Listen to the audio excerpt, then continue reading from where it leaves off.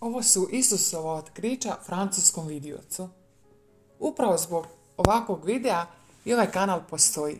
Želi donijeti na ovom kanalu sve što je izvanredno posebno u kršćanskom svijetu. Sve su ovo fenomeni koji nekome mogu promijeniti život. Da je istaknuti nesvakidašnje fenomene u kojima nitko ne govori. Nemojmo nikada prestati pričati o našem Bogu i hraniti se vjerskim sadržajem. Hvala svima koji nas prate.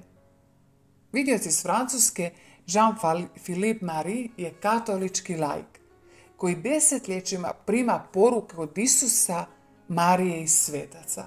I to u obliku unutarnjih govora. Vidio živi na francuskom prekomorskom otoku. On ima imprimator svog biskupa, što znači da se potvrđuje da poruke jesu slobodne od teoloških i doktrinarnih pogrešaka, smatraju se privatnim objavama, ali mogle bi pomoći potpunjem življenju vjere. Većina poruka upućuje na katekizam i na Bibliju, niste u njih dužni vjerovati jer su privatne objave. Ali svaka poruka prije objavljivanja teološki je pregledavana od strane teološkog svećenika. Godine 1995. ovaj vidioc susreo se u privatnoj audijenci s Ivanom Pavlom II. Naime, vidioc je imao viđenje tijekom nedjeljne mise koja je prethodila napadu na papu u srijedu 13. svibnja 1981. godine.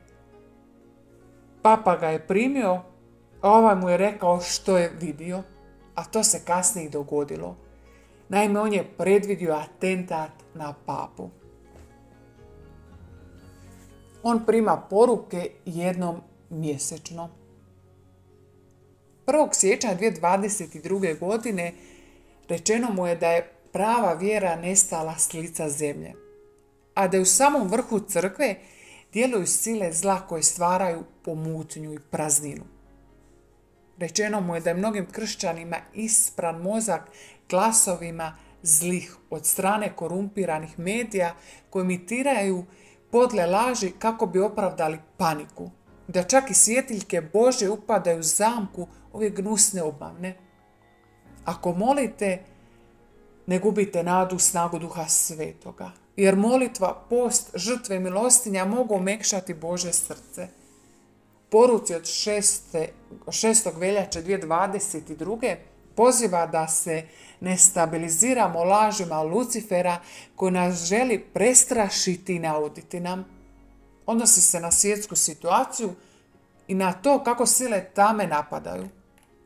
1. svibnja 2022. poručuje nam da kao kršćani ne bismo trebali razmišljati kao pogani, nego da se pouzdamo u Božu providnost u Oca Nebeskoga, te da je najbolje oružje koje imamo osobna svetost, kroz milosrđe, molitvu, čitanje svetoga pisma, razmatranje psalama, krunice križnog puta, sakrament ispovjedi pričesti. Poruka od 5. lipnja 2022. odnosi se na katastrofalne pojave, a koje najavljuju skori Kristov povratak. Poruci od 4. kolova za 2022. ukazamo se svet Ivan Marija Vianney, te poručuje svećenicima da su ponekad zauzeti nečinjenjem, seminarima, sastancima, bilancama, umjesto katehiziranju stada. On im kaže, previše vas nema dovoljno vjere, previše vas je dosadno ili čak obeshrabreno i sklapate kompromise sa svijetom. Naš je dobri Isus prisiljen ići na raskriža, tražiti proroke i glasnike, ublažiti siromaštvo propovjedanja i obratiti one koje već pripremio da budu njegova djeca. Poruka od 18. rubna 2022. govori da su poteškoće koje dolaze, a koje nam se najavljuju kao neminovne katastrofe, zapravo posljedice djelovanja samih moćnika. Da su svi projekti loših momaka registrirani na internetu ili knjigama izdanim prije nekoliko godina, što dokazuje prethodno planiranje. Poruci od 2. listopada 2022. Isus traži od onih koji kreću evangelizaciju da izvrsno poznavaju sveto pismo te da svoju vjeru hranimo svećenicima i lajicima čija se pravovjernost ne može dovoditi u pitanje. U poruci od 15. listopada 2022. govori o zlima koji guraju opću relaksaciju na području obrazovanja, morala i zdravog razuma. I da kada vam zli predviđaju katastrofe oni, i pripremaju ljude da ih dočekaju, oni zapravo nemaju ništa proročanski, jer oni sami planiraju te katastrofe desetljećima. I dodaje kako se s neba vide legije demona da se šire zemljom i svojom žuči zalijevaju te zle. Ali imaju jednu slabost. Jako dobro znaju da bi im se uz najmanju grešku plima mogla okrenuti protiv njih. Stoga je preporuka da se ne zavaravate prividnom prividom i neumorno tražite istinu, te oprezno postupajte jer zlo optužuje dobre da su loše. Također upozorava na činjenicu da mnogi ljudi koji se danas nazivaju katolicima samo oni djelomično prihvaćaju vjeru crkve i protive se osnovama njezina nauka. Pobačaj, eutanazija, čedno odjevanje, blud, zajednički život prije braka, nepoštivanje nevjera u sakramentu. Ne možete sjediti na dvije stolice.